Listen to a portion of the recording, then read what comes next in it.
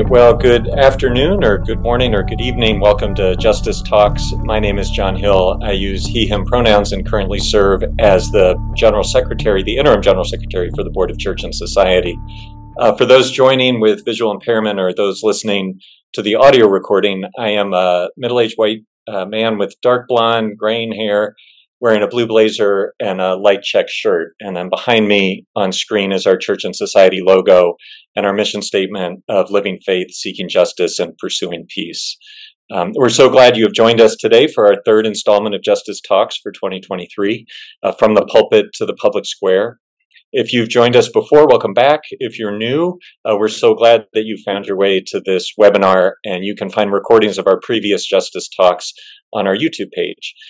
And we'd love to know where you're joining us from. I know a lot of folks are putting that into the chat, so feel free to do that if you haven't already. Uh, before we get started with our conversation, I do want to let folks know if you have a question, you can submit that by clicking on the Q&A box at the bottom of your screen, and we'll do our best to answer them either in real time in the chat or at the end of our conversation today. And at this point, just a special thanks to Amber Gaines, who is working the behind the scenes magic for this webinar and helping us to field those questions. And with that, I'm excited for today's Justice Talks and to introduce you to our two conversation partners.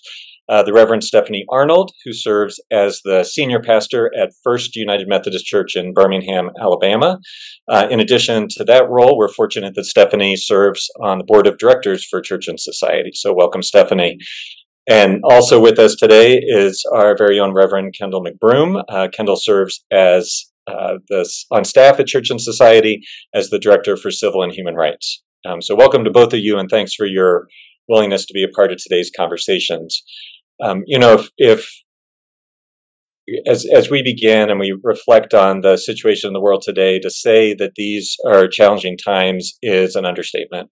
Um, from the ongoing war in the Middle East, the increased polarization and dysfunction in our government, um, we know that some some states in the U.S. are going to the polls today, and even as that's happening, efforts to roll back voting rights.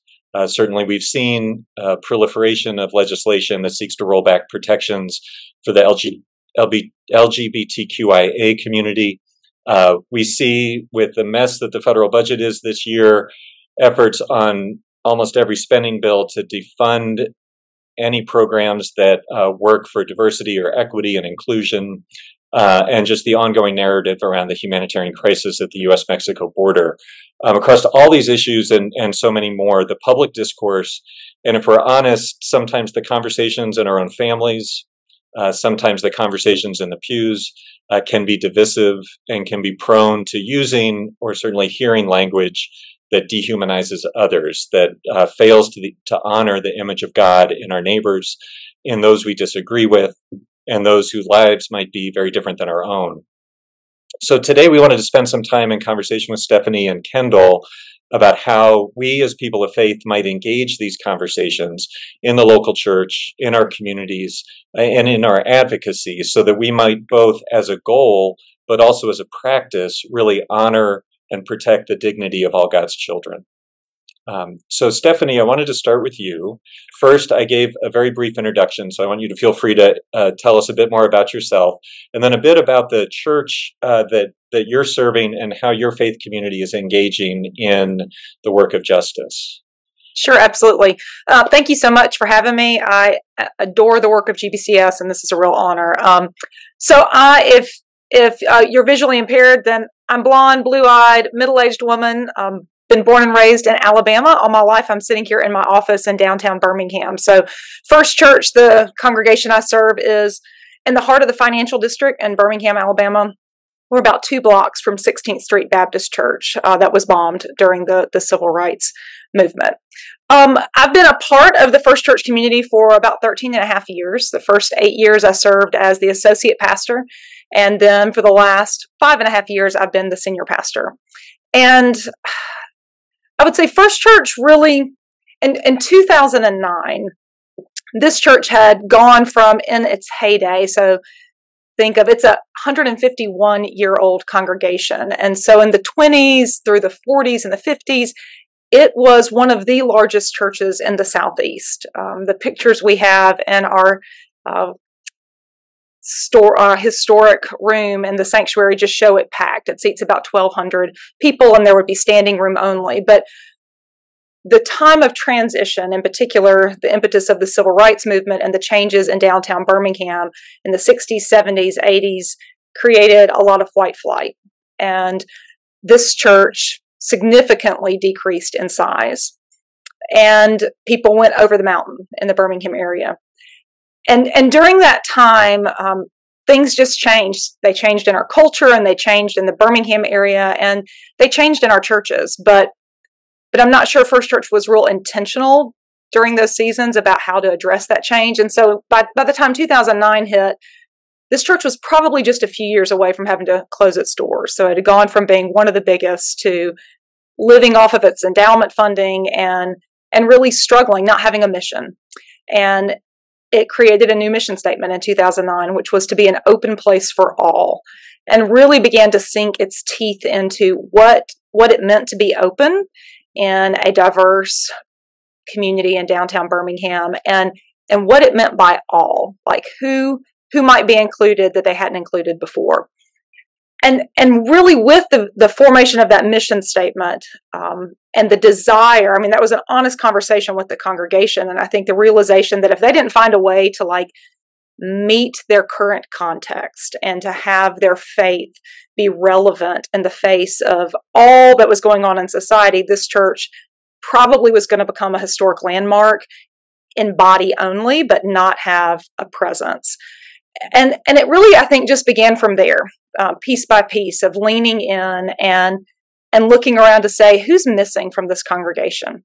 Because there there was a lot there's still plenty missing from our congregation now but um, that authenticity to have the conversations about who should feel welcome in church and how church should engage the society around it i think is what led to this congregation being revitalized. We're now, we, for years, we we've been a church that um, has felt it was honest and authentic to clean our rolls, which uh, a lot of churches don't always do that practice. So we're uh, 619 members now, but but we average about 350 uh, people attending in person on Sunday and about another hundred virtually. So you know, percentage wise, that's a healthy congregation. So we're we don't have the the same numbers we did back in the 20s through the 40s, but it is an actively engaged congregation. And I would say in the last 13 years, the the call for justice and having a faith that um, really works to how to have restorative justice and to learn about that and and the, the truth that all people belong are the things that bring people and draw them into our community here. And Stephanie, I'm, I'm wondering as you worked through that um, mission, your revitalized mission statement, um, were there particular you know topics or challenges that the community was facing that you were engaged in that uh, allowed you to sort of live that out in the community yeah i mean I think, and, and, I'll be honest, I wasn't here in 2009, so I came in 2010, about six months after they had created that mission statement. And the senior pastor at that time, who had led them through creation of that, you know, what he said to me, literally sitting in this office um, back then, when I was thinking, you know, I was on leave. I had two young kids at home who weren't in um, kindergarten yet, and planned to stay off um, until they were. And and then I met him in this church, and and he said, Stephanie, you know, if you come to work here, you're going to be in a congregation where in the pews you're going to have CEOs and presidents of the banks around. You're going to have unhoused folks who've come in off the street looking for respite. You're going to have black people and white people.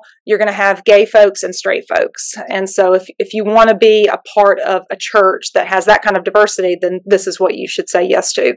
And the truth is, I don't know that that every Sunday we were, all of those things. But I believe that when they created that mission, it was looking around the downtown community and seeing evidence of those people's lives in our city um, who who didn't have really a safe place to turn often in the form of a faith community that that's why they they created that mission statement to address that so for us coming out of that i would say the, the first kind of um, civil and human rights issue that we sunk deeply into became LGBTQIA inclusion and and rights. Um, and then and then from there, once once we began being active in one in one area of people's lives, it just rolled and rolled and rolled to including more.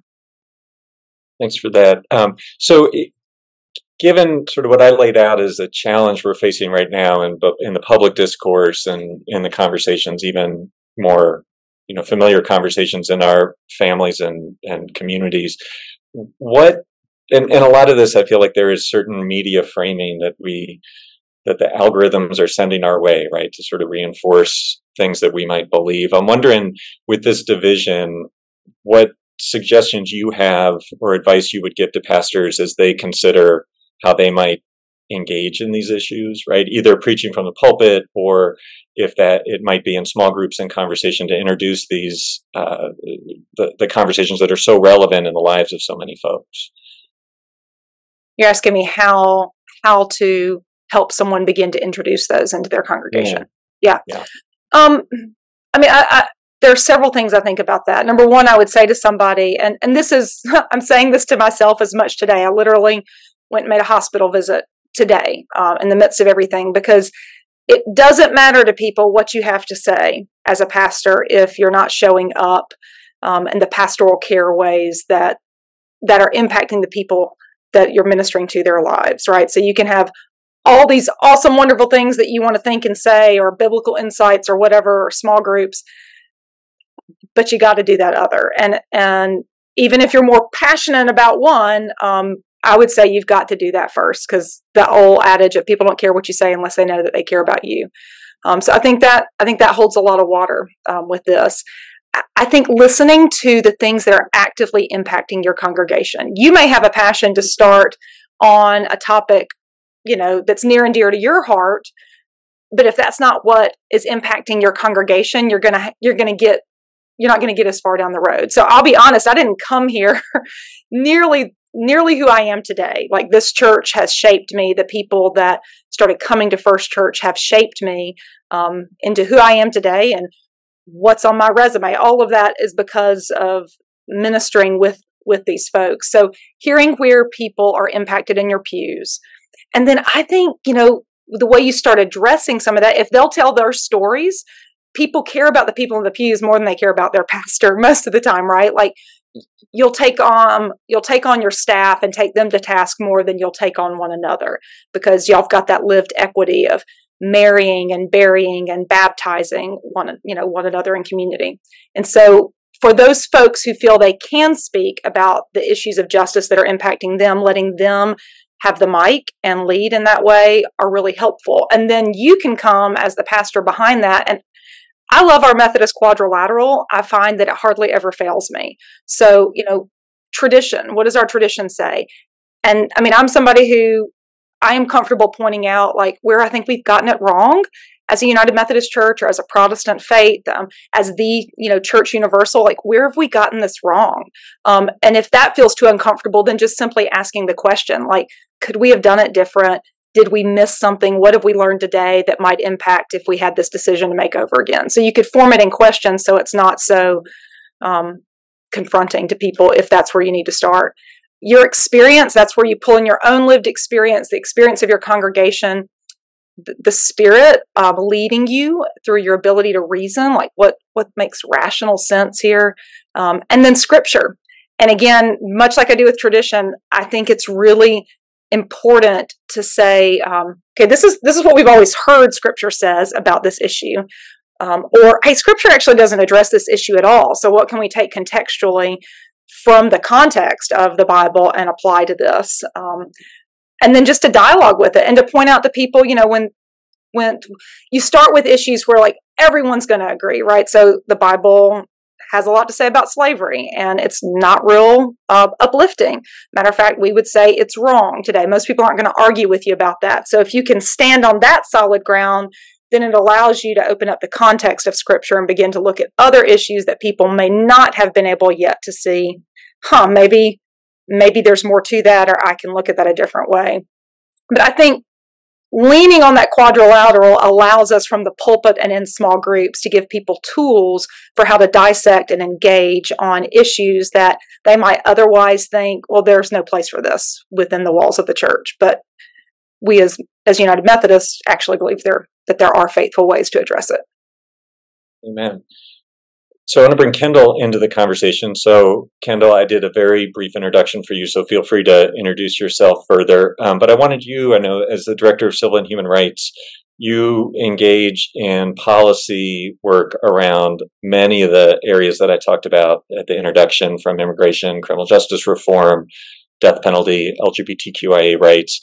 I'm wondering, as you look out in your portfolio and you kind of hear the the discourse um, certainly at the at, uh, among decision makers and the media. I'm wondering if you hear or see some common threads or even some common threats to the way these policy proposals are seeking to roll back rights right now.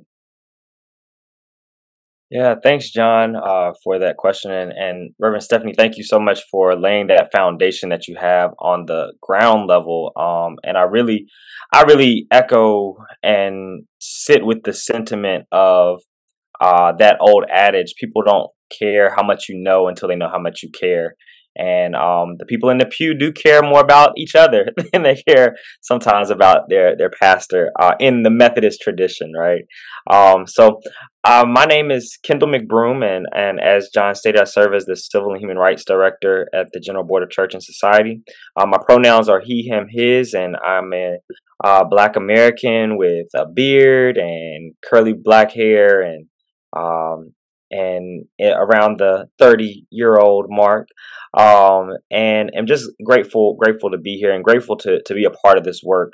Um, so to the question about the common thread as laid out earlier, um, we are really seeing, if we're if we're honest, we're seeing uh, both an attack and a rollback on the liberties and the rights um, that so many of us have grounded our understanding and even grounded our hope in uh, for this country, for for America and the world that we would like to see. Um, and so, with that being said, uh, one of the common threads that I see is a really a, and it, it touches on something that you mentioned earlier, is the the dehumanization and the and the seeing the other or seeing those that aren't like us as less than and therefore not worthy to have or worthy to participate, uh, whether it be with voting rights in the whole project of democracy, uh, whether it be with immigration, um, security, and the opportunity to see asylum, um, if it is criminal justice, uh, the the opportunity uh, for a second chance or third chance or um, or a restorative process. With the death penalty um, the the the understanding or the interpretation that an individual cannot come back from this. And then um, and what what kind of is the irony and, and the the crossroads for for uh, the work that we do is if we are a faith one a faith agency and we are the church and we believe in a redeeming God um, and if we still hold to the fact that the United States, uh, while not specifically a Christian nation, um, uh, tends to uh, view itself as and identify itself as a Christian nation, um, for better or for worse. Um, that that wrestling of of who is redeemable, who is uh, who who who has who is able to obtain salvation and liberation and again these liberties. Um, so with that being said that's the common thread that each of these portfolio issues um, are really attacks on the the dignity and the image of an, another individual or of, of our, our siblings. Um, and, and, and again even with when we mention lgbtqi rights I can think through a host of bills that were introduced in this legislature, uh, in this legislation, this session, um, that really they remove the humanity out of the picture. Um, not to talk about the divinity that lies within each of us, but they remove they remove and ignore the humanity um, of of our, our neighbors. Um, and so so those are the common threads. Uh, the lack of the lack of one humility, but then the lack of of honoring and respecting uh, the humanity in the in the other person. So, so with that, Kendall, I'm wondering, you know, as you're engaging the conversation both with decision makers at the you know, and and we work in the United Methodist Building across from the U.S. Congress, so often at the federal level, um, or connecting with conference and church leaders. What is what have been some effective ways that you've seen folks pushing back against these policies proposals, even reframing them, um, and maybe that's equipping, you know, United Methodists or people of faith with uh, biblical framing. Or I'm just wondering if if you could share some ideas for folks about how we might be able to to push back amidst this divisive and dehumanizing discourse. Absolutely, yeah. Um, and I, I need to touch on touch on a part of that, or and as a lead up to answering the question, um, that I one Methodism has been running through me forever. I believe, like my daycare was Front Street United Methodist Church in Burlington, North Carolina. Um, I attend and was ordained in the African Methodist Episcopal Church. Um, so I have that lens, and now, of course, working for uh, an agency, a general agency of the United Methodist Church. Um, the that that Wesleyan Quadrilateral is a, is a help for me, is a tool for me when I think about engaging in policy, when I think about engaging in uh, uh, letter writing or or even uh, some of our action alerts that we that we produce. When I think about even in conversation with legislators and the staffers, um, the approach to having those conversations. I, I use that as a tool. Um, and, and I kind of switch it up a little bit.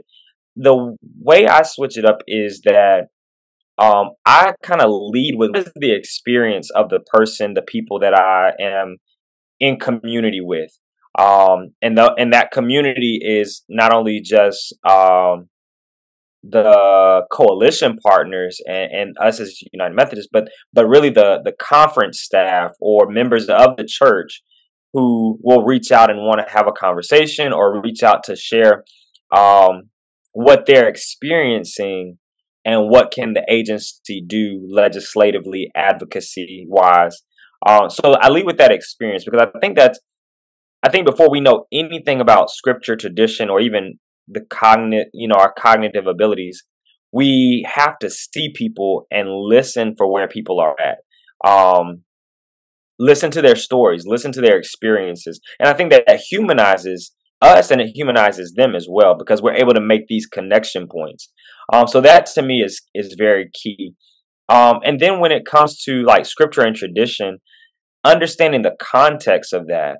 Um, I think even so much with our with our, our sacred texts, with our, with our sacred texts, um, we have to we have to understand what are out of what has this what was this text birthed out of?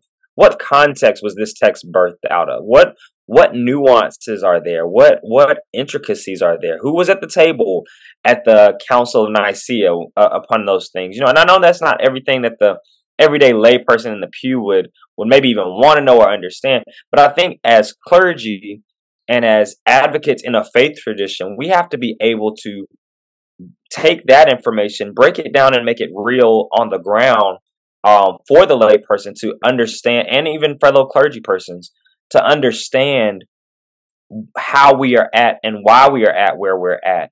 Um, so I think through that, but then also uh, uh, one of the scriptures that has, as we're talking about, like um, the effectiveness and equipping and, and the framing. I I keep going back to a couple of a couple of scriptures, and and I'm gonna just just gonna name two of them, and then I'll I'll return it back to you, John.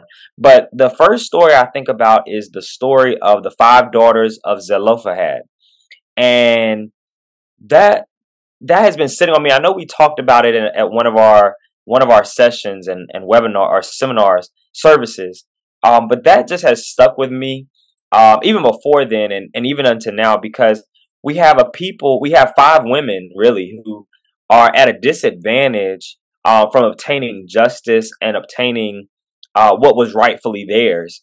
Um, but they're trying to go through the process of the law. They're trying to go through the process of the community.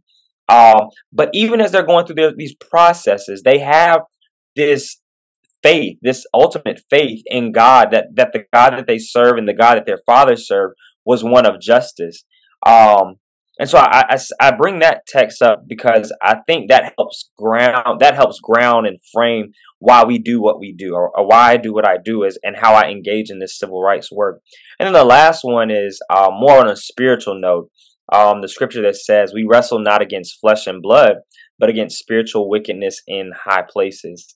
Um, and I think we have to be honest about the fact that that this is not just uh, what we can see, but a lot of the things that go behind the policies, the harmful policies um, that dehumanize our siblings, um, are those things which are otherworldly. And we've got to call those things out. We've got to be able to engage in that conversation and have that conversation on. Uh, yeah, we've got to be able to have that conversation and and tie that into the to the work and the framework. So Stephanie, I'm wondering you and totally um, open it up if you want to respond to anything Kendall said because I want this to be a conversation. But uh, I'm, I'm curious about how some of the policies or the proposals that we've seen and the sort of narratives that are at the federal level, the national narratives here in the U.S., how those are impacting folks in your own church and in your community, yeah. and kind of how you are engaging that both from a pastoral sense of care and also um, to to be a voice for justice and change and to challenge some of those narratives. Yeah, um, I'll see if I can give y'all a, a few examples. Um, recently, for us, um, this this past year, there we had a a protest at the state capitol here in Montgomery, Alabama, obviously was statewide called drag me to the capitol because we were having some state bans on um, drag and some laws that were really infringing upon the rights of trans persons and the lgbtqia uh, community. And so now for us i mean at first church and i get it i've seen some of the questions like would totally understand that not every congregation is where we are when it comes to inclusion and being able to talk or even or even feel like you have community and access with folks within the lgbtq community.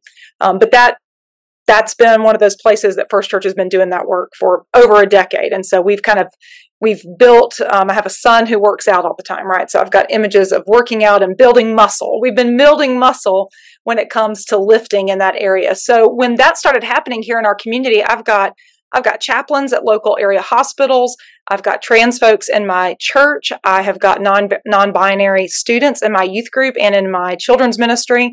And so when laws were coming into coming down the pipe that were saying people aren't going to be able to have adequate health care to meet their needs of, of their family. And when we know the suicide rates um, within that community, when when they are not accepted and when their lives are threatened, then that's an issue like for our church that was easy to activate on right?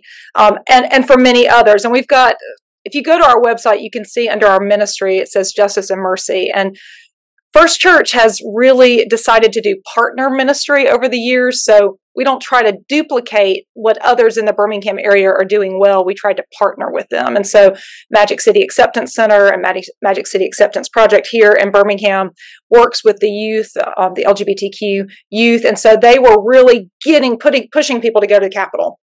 So we loaded up and our staff and church members went down there and participated in that. And um, that that's just one recent recent example. Um, First Church has participated in the Women's March. Um, in 2016, this was another really seminal moment for us. We had a a young mother with um, eight children who sat on the front row of the service that I preached um, every week.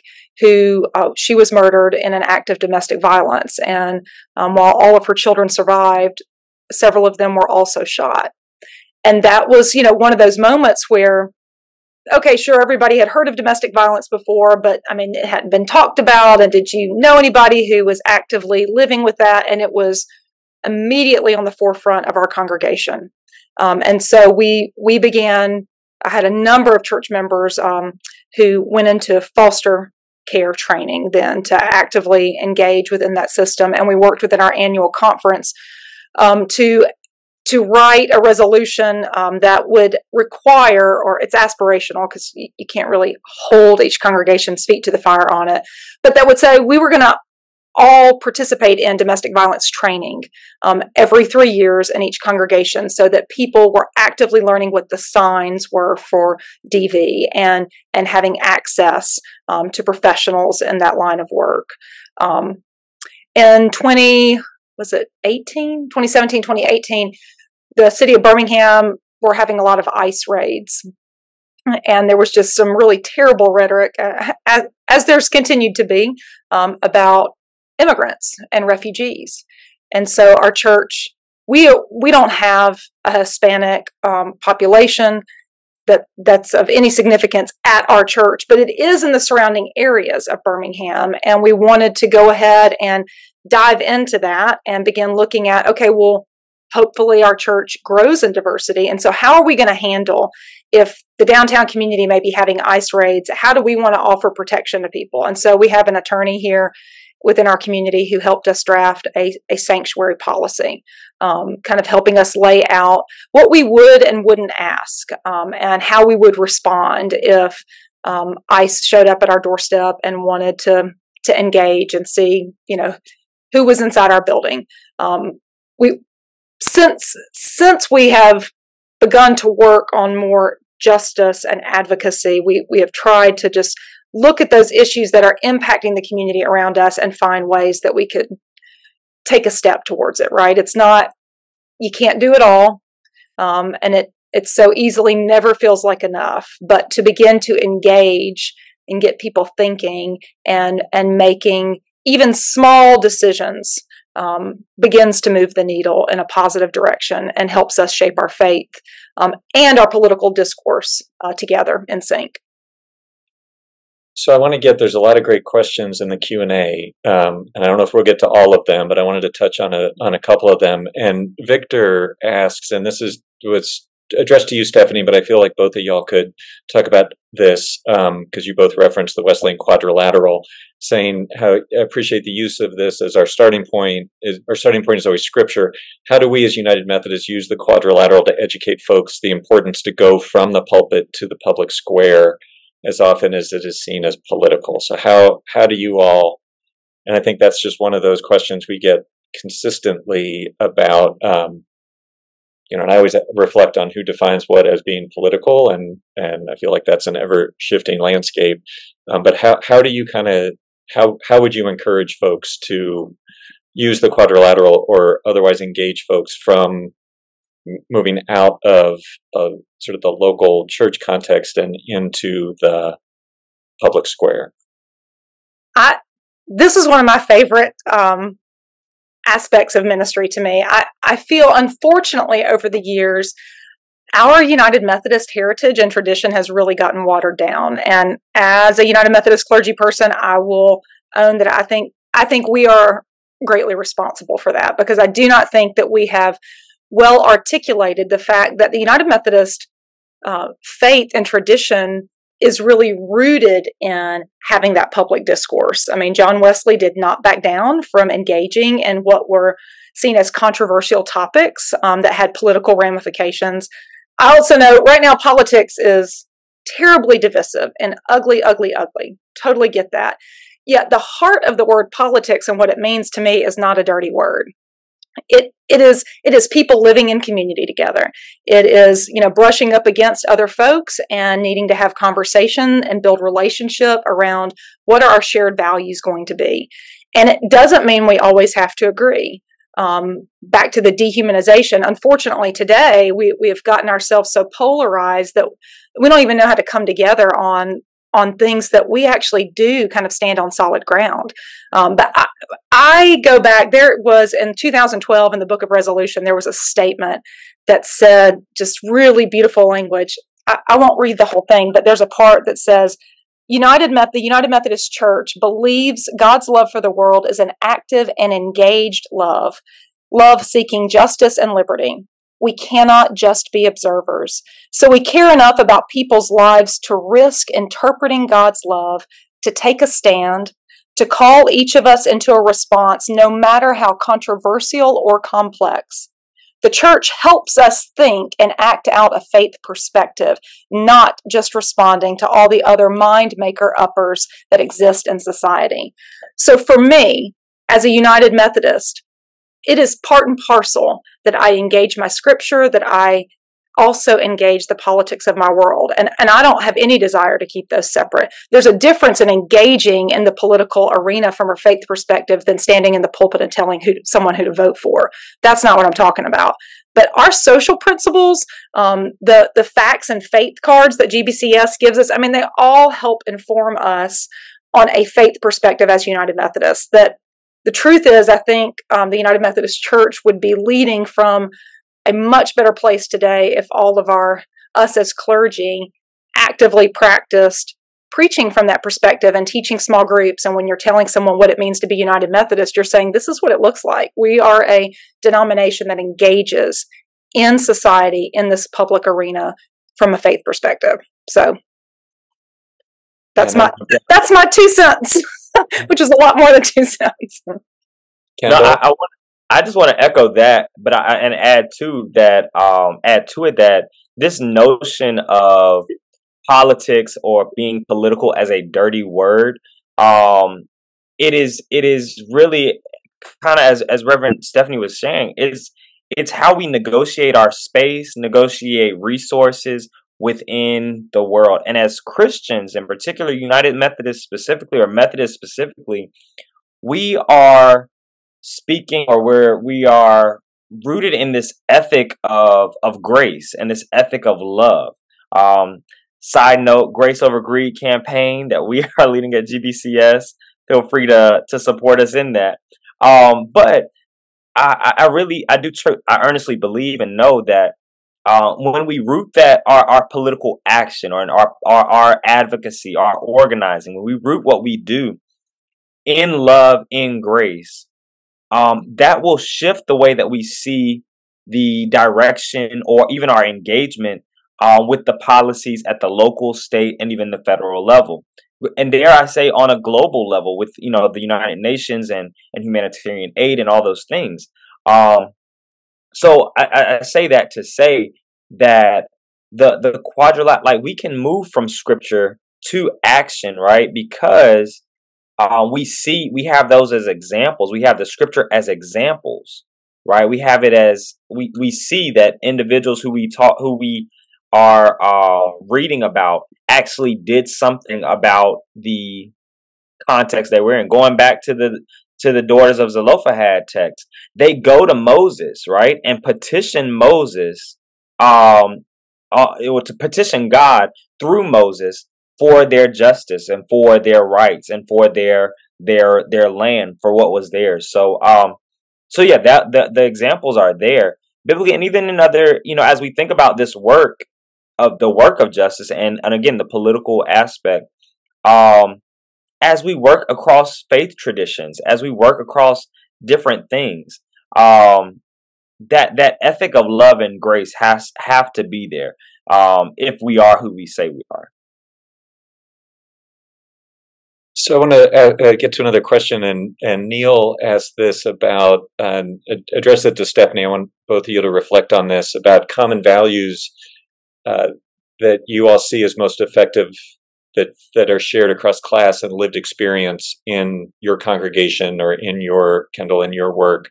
Um, are there shared practices that bring people together across differences and strategy to stay committed to the long vision of justice? So it feels like how are you building what I hear in that question, um, and y'all can interpret it your own way, of course. Um, I'm hearing like, how do we build movements um, within our congregations, across our denominations, within our communities um, that cross some of those lines that divide us um, to sort of reflect the vision of justice that we want to to see. That's a really good question. Um, so, you know, and some places are easier to do that than others. I think I'm a part of a interfaith group here in Birmingham.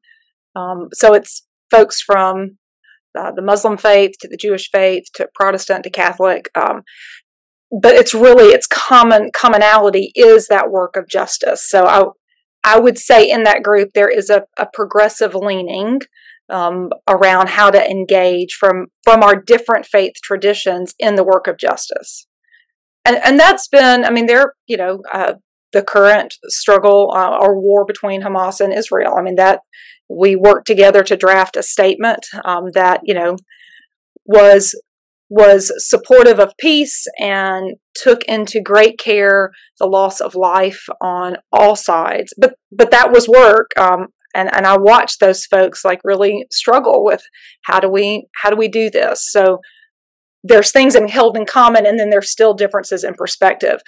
It, it gets it gets hard um, I feel like around that political divide when when you feel like there's bigotry and there's oppression and there's violence. And so I, I'm not sure that that I've got the answer to how you how you stand together when you're so diametrically opposed and, and there is true true harm that is happening.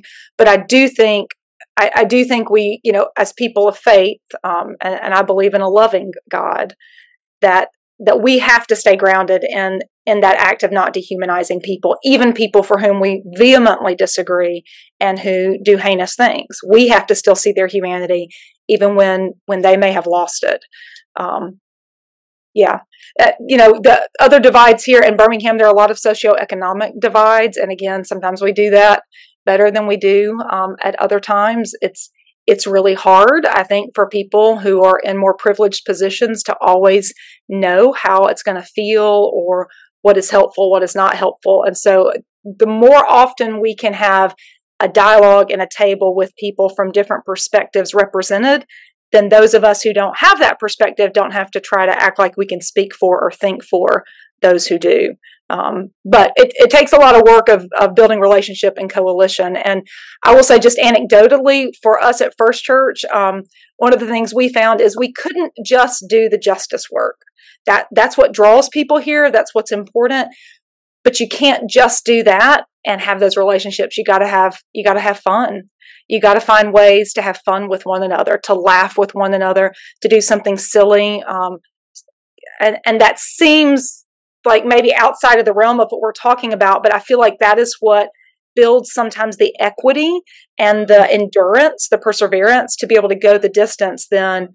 But if you're only diving into the most consequential, difficult, hard subjects of our day and age, then then you're not having abundant life. Um, and and your your ability to do that long term, I think, is going to be much much shorter. Yeah, um, I had a point, and unfortunately, it has blown out of my mind. Um, but I, I think one of the things that that has to, and I'm, I'm pulling this from um, something I, I just saw in the chat about solidarity. Um, I think when it comes to yes, this work, and, and and to the earlier question about what ground, what connects us, right, regardless of our political affiliation, regardless of um, of of a host our socioeconomic status and things of that nature. I think that that we in a in an attempt to get to solidarity, uh, one of the things that I think that grounds us as Methodists, or should I'm assuming again connect us as Methodists, as Methodists, where you're whether you're in United Methodist, African Methodist Episcopal, African Methodist Episcopal Zion, Christian Methodist Episcopal, is this honing in this strong, deep belief in God's grace, in the grace of God. Um, I think where we differ is how that grace is expressed and how that grace is uh, viewed and seen. But the notion of God's grace is is there, and I think if we could rally around, have conversations around that, discussions around that, vision around that, um, in connection with the life, the life and the lived life and lived experiences of Jesus um, and our neighbors, we might can move things forward and and kind of address this this strong divide. Um, I, I, think as it relates to kind of the solidarity aspect and, and getting to a place of solidarity, um, we really, you know, in in all of our traditions, really have to come to terms with the truth in, in our own histories, in our own stories. Um, you know, we, we look at it now and, and even today, uh, 200 and, and some years later, um, we still have this big division within Methodism. Um, we've not fully acknowledged the history of why there is why why are there pan Methodist con- denominations, right? Um, and so again, that goes back to the the and help, trying to understand what we stand around in in, God's grace. Um, I, I think there's this sense of people want to feel a belonging. Um, and we've got to deal, we've got to wrestle with what does that belonging look like in our own context before branching that out to to the world. But it's not to say that we can't do both at the same time. I am a strong believer that we can walk and chew gum at the same time. Um, and as we are wrestling things out, working things out, we can also work on the advocacy and um, the advocacy things and justice issues of our time. So I want y'all to to reflect on this question from Gordon. Um, he says, "How far out in front of the congregation does a pastor walk? Must the fire build from within first? Do we build on a fire or start the fire?" And I'm just wondering if y'all have a, a, a reaction to that question.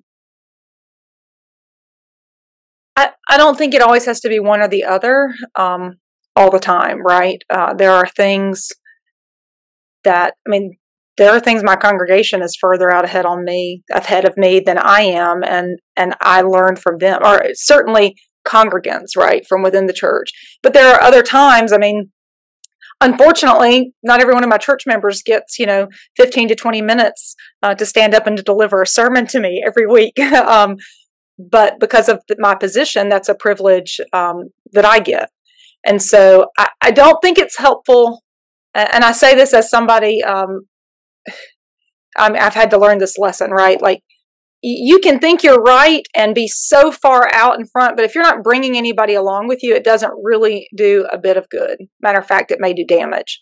And so I think, I think when you are out in front, being that leader who is constantly looking to provide ways to bring people along, um, to to teach and to learn, and to stay humble enough that you recognize you're always learning too, because you you can think you've arrived at some place or have some understanding of justice but we we live in a world that is constantly evolving and changing. And so the language we need to use is changing. The experiences of people the opportunity for having different voices you know come to the microphone all of that is changing. And so you, i think there always has to be a level of humility. Um, to me it's it's just shared leadership. That that's the best approach. But I would, I know I wouldn't feel comfortable if I felt like my congregation was dragging me along the way all the time, and they wouldn't feel comfortable if I was the one dragging them. So I think, I think it has to be a mutual approach where you share from your experience and you learn together uh, at a pace that is challenging, um, but yet that we can all uh, move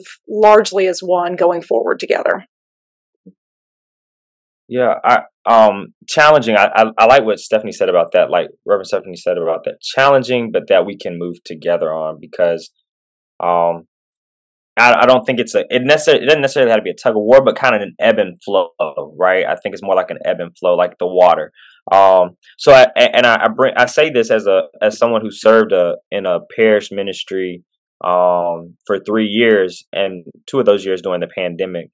I remember that we did uh, a public policy clinic, and we basically engaged with uh, young adults and youth, and adults were able to to participate as well, but particularly like the young people, and they were engaging with their legislators, with their elected officials, and and one of the things I did was I, I let them choose the topic. What what was burning within them? Like what frustrated them? What were they passionate about?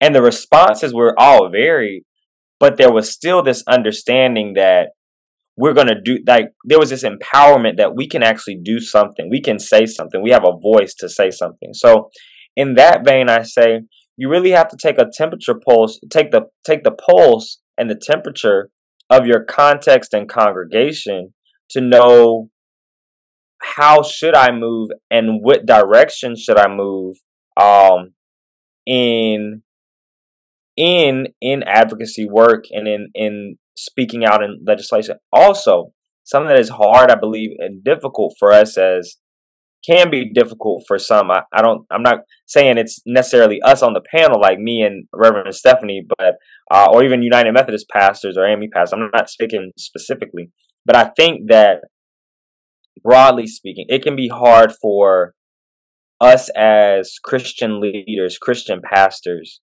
to take a step back and say, I don't have to always be in the front. That someone else can I can I can have a different role in the midst of this movement, in the midst of this advocacy work. I can walk alongside, I can be behind and support the the members of my congregation, but not to always have to be in the in the front. Um I think I think we we've got to really work on on that to be effective and to bring people along.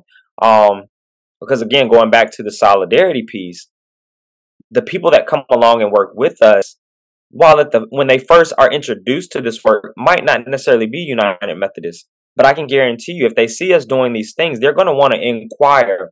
Hmm, this is a church and a community that is actually doing things that I believe in, that I have faith in, that I want to see happen. I want to learn a little bit more about this and might become not only just members in the pews and members on the rolls, but active participants in the work and ministry and life of Jesus Christ. So,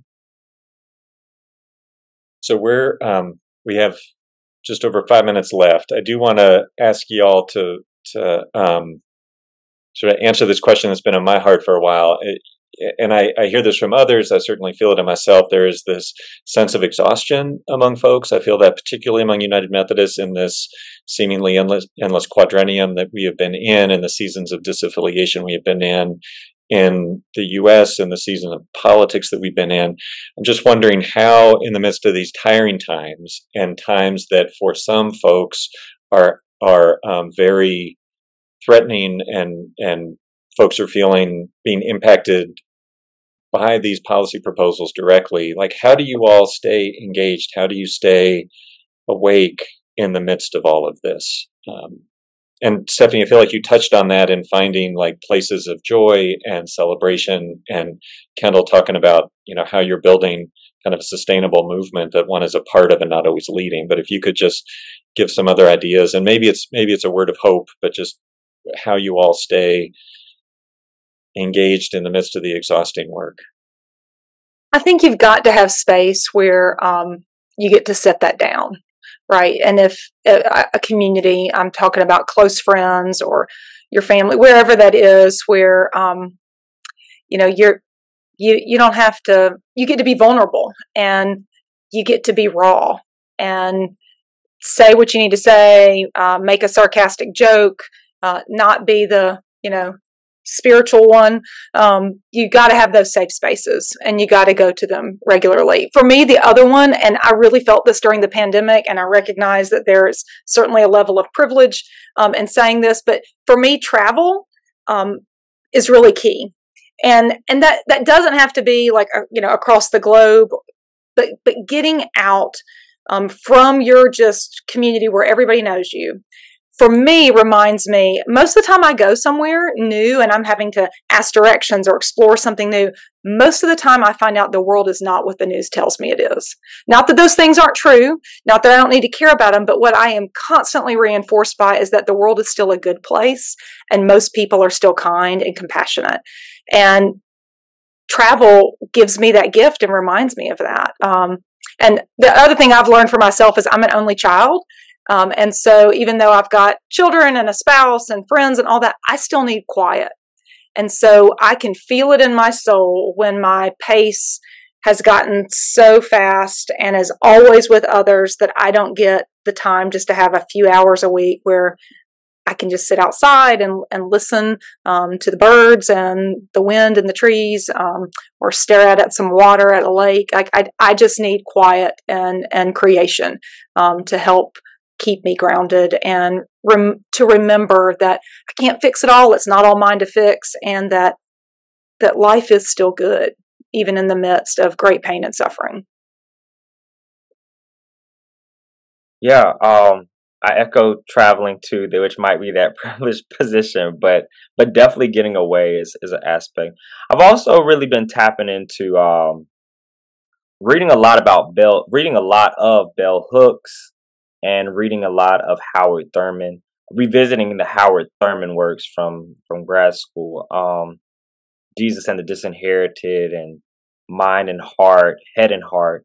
Um, because I think there's something about there's particularly something about that literature that really grounds me and lets me know that one broadly it's not going to all be done within my lifetime like I might be 80 or 90 years old and we'll still be going through maybe the, some of the some certain things but hopefully they will not be the same thing uh, or even a different iteration of the of this thing but that we'll have new problems and new challenges um, versus these that we that we have today.